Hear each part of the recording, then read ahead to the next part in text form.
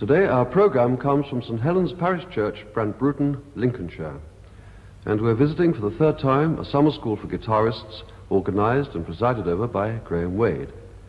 As usual, we have an invited audience, and later on we shall have one or two questions from members of the summer school, which will be answered by our guest, who began his guitar studies at the age of 11, and by the time he was 21, had twice won the international contest for guitar playing in Spain. Shortly after that, he gave his first recital in Madrid, and since then he's been busy touring and recording both in his own country and abroad. Uh, ladies and gentlemen, it gives me great pleasure to welcome back the Venezuelan guitarist Ricardo Fernandez Iznaola.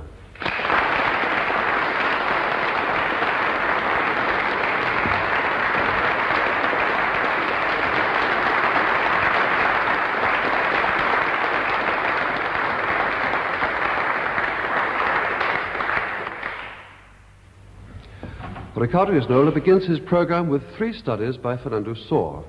They are respectively in the key of G major, B minor, and A major.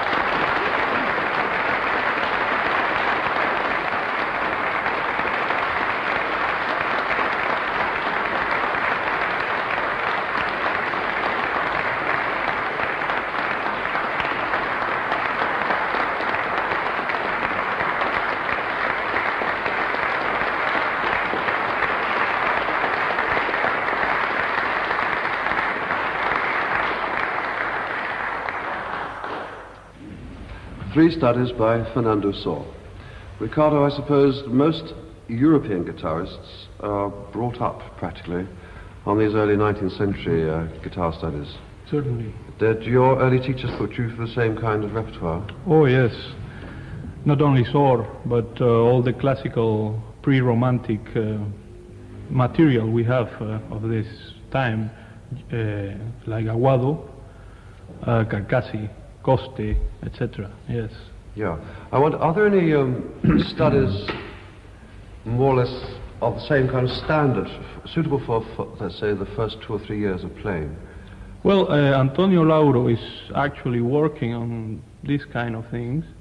Very interesting because he's uh, trying to introduce the student into uh, polyphonic music through a series of studies written in polyphonic style, like small fugues or small canons. And uh, I think he's pretty well advanced in this. We all know the Leo Brouwer studies, which are very Yes, attractive yes. and rhythmic, and Certainly. perhaps good grounding for some of the things like Lauro does. Oh yes, and it's uh, it really fills a big gap because the the student traditionally is not really prepared when he, let's say, finishes his his uh, technical education. Let's put it that way, to face the new compositions that uh, are being written at the moment for the guitar. Because of course, Sor and uh, Coste and uh, all the rest prepare you to a kind of uh, romantic or even post-romantic music, but not really for contemporary music. Yes, Yeah. Well, before we move on, shall we have some more Sor? certainly. And uh, we'll have, in fact, the Rondo in C, Opus 22.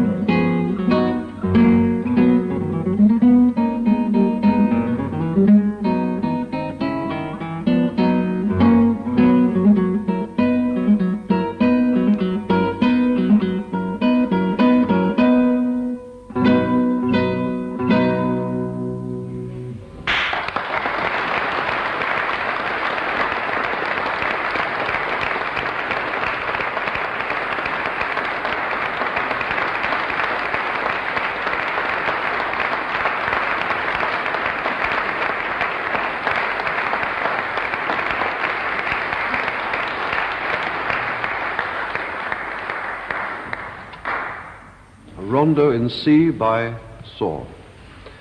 Um, I gather this past year has been a particularly busy and interesting one for you, Ricardo, because apart from all your other things, you have your own radio program with the National Radio of Venezuela, and I believe it's not altogether unlike what we're doing now. Yes, it's rather a new experience for me, working in a mass media, as it uh, were. And uh, of course, we don't have the, the means you have for producing the classical guitar, but uh, besides, it's a completely new experience in Venezuela and probably in South America to produce a program of this kind devoted exclusively to an instrument, uh, its history, its composers, and so. Yes. Do you stick just to the classical guitar?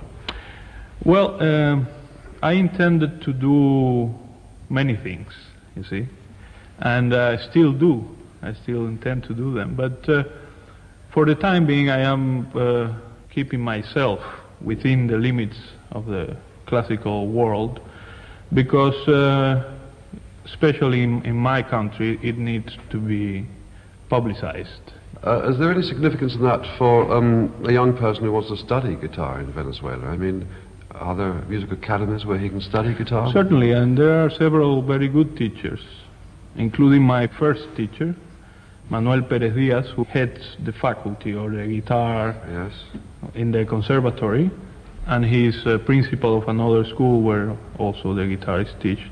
Lauro, of course, also teaches, and several more. Yes, this is in Caracas, is it? Or? Caracas and uh, in other cities also. Yes. Yeah. Incidentally, I read a program note of yours uh, some time ago, which confused me completely. It said, now, was it? Um, Venezuelan by birth, born in Cuba. Yes. well, uh, I left uh, Cuba very, very early when I was a child, and uh, I, I, adopted the Venezuelan citizenship, which is by birth, as, as it were, because uh, because I entered the country very early. But in fact, I believe you live really um, in Madrid. In Madrid, yes, since 1968. Yes. Now, a distinguished uh, compatriot of yours lives in Europe as well, Alirio Diaz, of course, who yes. lives in Rome. I wonder why you all leave your countries and live in Europe. Well, I think you can relate it to the point we were discussing before. I mean, we really don't have the atmosphere to develop a career in this field, you see. So we must emigrate. To go back to your programs, what kind of works do you really prefer, above all, to do? Well, I, well, I like Bach, of course, above everything else. And then I kind of have a atavistic attraction to Latin American music, which I play very often, and uh, especially the uh, my own countrymen like Lauro, Carreño, Borges, mm. and Ponce and Villalobos. Yeah. Mainly. Well, the next piece is you're going to play is by Ponce, in yes. fact. Um, and in terms of the guitar repertoire, it's a relatively extended work, and it's the Sonata Mexicana. I believe actually it was inspired by Segovia. Yes, uh, this, as a matter of fact, was the first big work that Ponce wrote, and uh, Segovia enticed Ponce to write a work of this kind, giving him uh, four titles for four movements. Uh, the first of which was, was uh, The Little Dance of the Mexican Scarf. The second was The Dream of the Ahuehuete, which is a Mexican tree, typical Mexican tree. The third was an intermezzo tapatio, which comes from a region. And then the last one, songs and dances from the old Mexicans.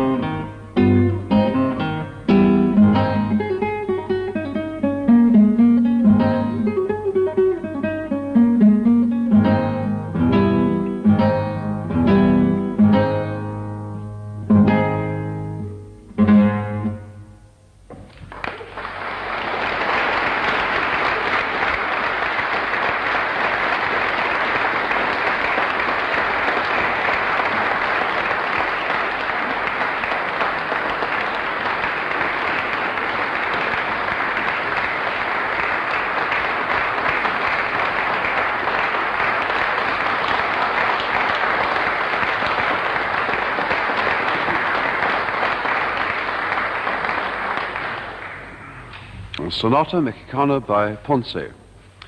Well, perhaps now we could have the questions from some of the members of Graham Wade's summer school. Um, the first one we have comes from Linda Kerr. Do you think that South American guitarists play the music of Villalobos, Lauro, and Barrios better than European guitarists? I don't think it has anything to do, really, where you are born.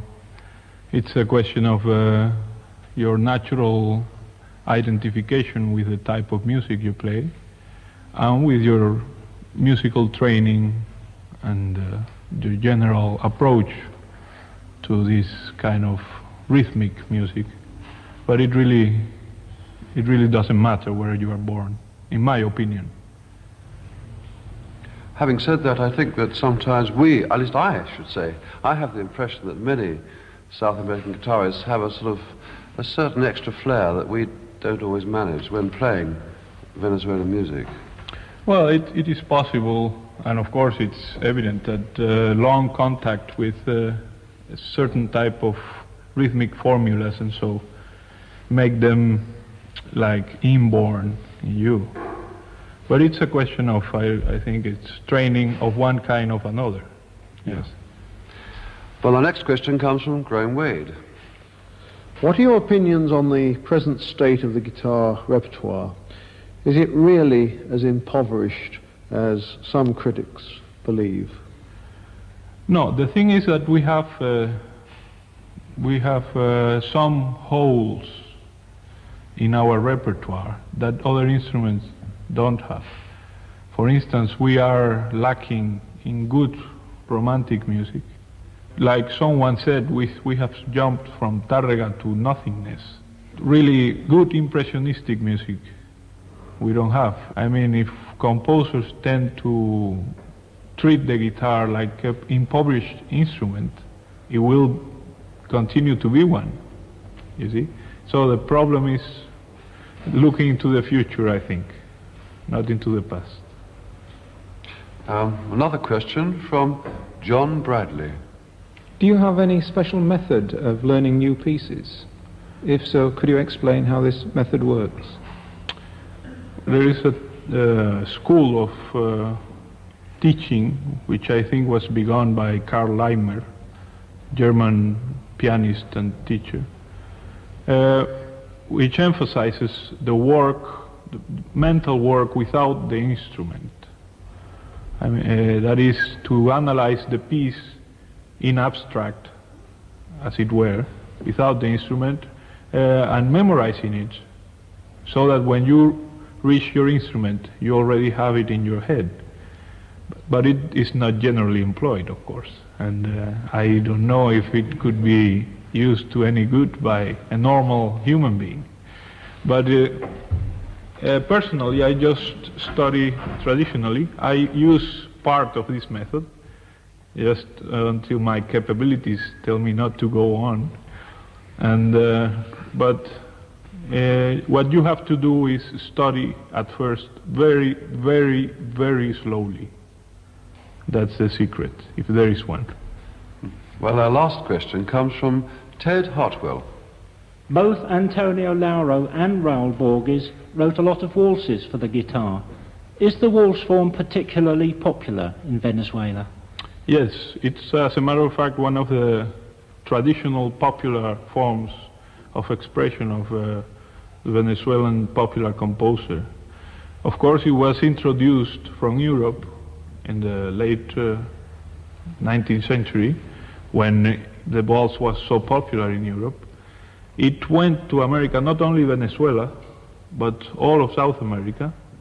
And uh, it took some peculiarities, especially rhythmically, from the Negro influence, so present and so alive in popular music in South America. So the mixture is a rather interesting one. And as a matter of fact, they have created a new form of popular expression, which is the Venezuelan or the Peruvian or the, even the Argentinian waltz, which its characteristic rhythmic uh, syncopation and so. Yes. Well, uh, Ricardo, we'll go back to some music now. And in fact, you'll probably be glad to know that uh, Ricardo is going to continue his program by playing some music from Venezuela.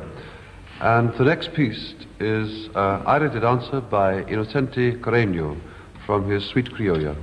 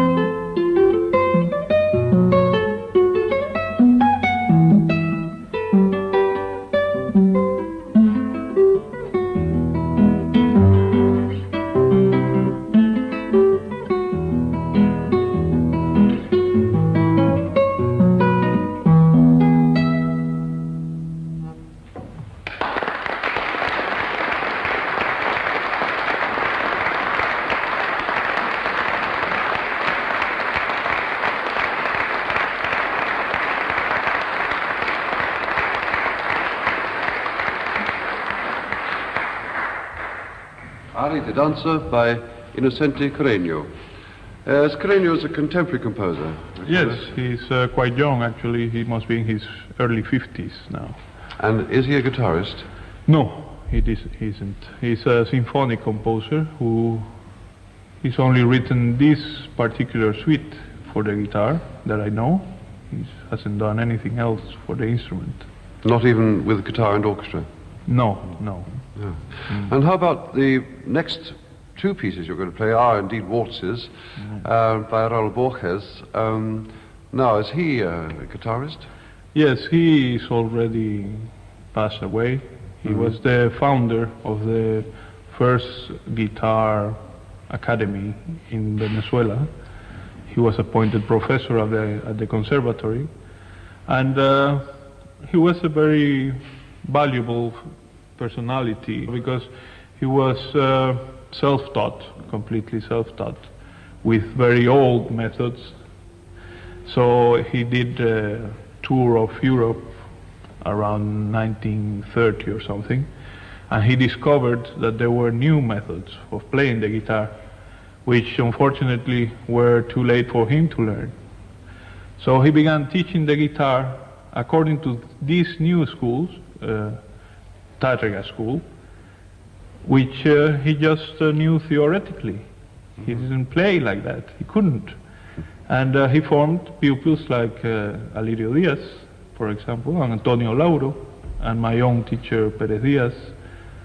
So he was uh, yes, Very significant man. certainly. Well, perhaps now we could uh, finish the program. Hear these two Venezuelan waltzes by Raul Borges.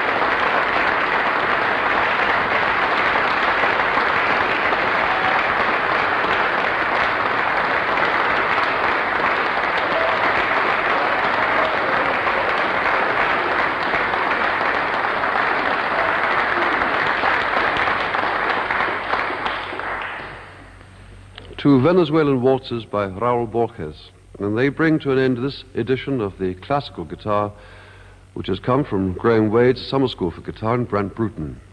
I'm sure we'd all like to thank the Reverend Robin Clark for allowing us to use this truly beautiful parish church of St. Helens. And of course, I'd like to thank our guest from Venezuela, Ricardo Iznaola, for playing and talking to us.